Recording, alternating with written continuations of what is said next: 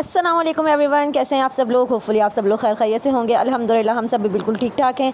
तो जी, आज का व्लॉग मैं स्टार्ट करी दोपहर के खाने से। हम लोग खा रहे थे हलीम रोटी और उसके बाद जहाँ था, हमें शॉपिंग पे लगी हुई थी सेल ट्वेंटी थर्ड मार्च आ रहा है। तो जी, आपको पता है कि सारे ब्रांड्स लगा देते हैं सेल और मुझे करनी थी ईद की शॉपिंग अब आप लोग कहेंगे कि रमज़ान से पहले ही ईद की शॉपिंग की तैयारी की फ़िक्र लग गई है। तो भाई सेल लगी हो और हम लोग लेडीज़ वो सेल ना अवेल करें तो ऐसा हो नहीं सकता। सो जे डॉट पर बहुत अच्छी सेल लगी हुई थी। एक दो जगह मैंने और भी सुना था बुनैजा पर भी थी और सलाई टेक्स पे भी थी। खाड़ी पे सेल लगी थी, हालाँकि खाड़ी मेरा फेवरेट ब्रांड है, खाड़ी एंड बीस ये बहुत मुझे बहुत पसंद है।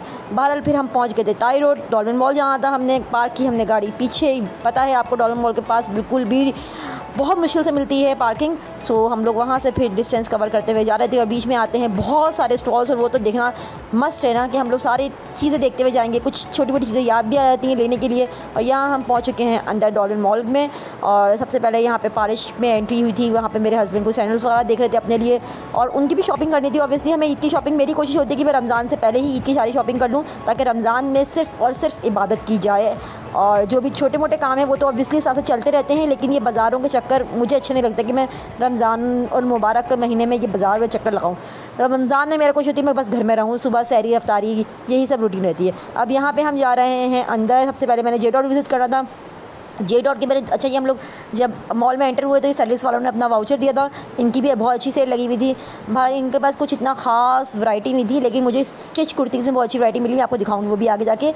सबसे पहले मैं जे डॉट पर गई थी बिकॉज़ मैंने ऑनलाइन ही जे डॉट के दो से तीन डिज़ाइन अपने, कहते हैं ना, वो निकाल के रख लिए थे कि मैं वहाँ जाऊँगी और वो जस्ट पिक कर लूँगी। और जब मैं वहाँ पहुँची और मैंने लास्ट नाइट ही वो मैंने पिक किए थे नेक्स्ट डे जब मैं आउटलेट पे जाके मैं गई तो वो मुझे क्या जी आउट ऑफ़ स्टॉक हो गए हैं सारे डिज़ाइन तीन डिज़ाइन मैंने पसंद किए तीनों डिज़ाइन ही खैर, दो डिज़ाइन आउट ऑफ़ स्टॉक थे, एक अवेलेबल था, लेकिन वो मुझे पसंद नहीं आया था, वो मुझे एम्ब्रॉयडर्ड लग रहा था, वो था पर पैचेस के साथ। उसके बाद हम पहुँच गए थी जी अपने एज़ यूजल फेवरेट खाड़ी पे। खाड़ी से हमें मिल गई थी शॉपिंग मैंने फुली शॉपिंग कर ली थी। दो ड्रेसेस मैंने, तीन ड्रेसेस दिए थे खाड़ी से। उसके बाद हम लोग गए थे bin Saeed B G S B J S B J S स्ट्रिच मैंने कहा, चलो स्ट्रिच भी कुछ उठा लेते हैं, मैं वैसे अनस्टिच ही लेती हूँ। फिर मैंने कहा, चलो स्ट्रिच ले लेते हैं, लेकिन बी जे एस वालों ने बेहद बेकार सेल लगाई थी, बेकार सेल सारा विंटर स्टफ़ था और सेल का नाम दे रहे थे, भाई समर का आ गया समर में कुछ तो अच्छा करो ना आप लोग। देन हम लोग पहुँचे थे जी आपका अल्लाह भला करे। साइड एक्स पे साइड एक्स पे मैंने एक कुर्ती ली थी स्ट्रिच मुझे बहुत अच्छी लग रही थी, वो मुझे डिस्काउंट प्राइस में मिल गई थी। सेवनटीन हंड्रेड में मुझे मिल गई थी कुर्ती स्ट्रिच कुर्ती। और आप डॉलर मॉल आएँ और आपने मिर्चीली का, गप्पा घोटाला या कटोरी चाट कुछ ना खाए तो आपने फिर कुछ ना खाया। कट, गप्पा घोटाला तो हमारा फेवरेट है मोस्ट फेवरेट हम जब भी डॉलर मॉल जाते हैं, हमारी कन्फर्म मतलब एक होता है ना स्नैक है, ये हमने लाजमी खाना है। हमको शॉपिंग करें ना करें विंडो शॉपिंग करें, लेकिन ये हमारे लिए मस्त चीज़ है।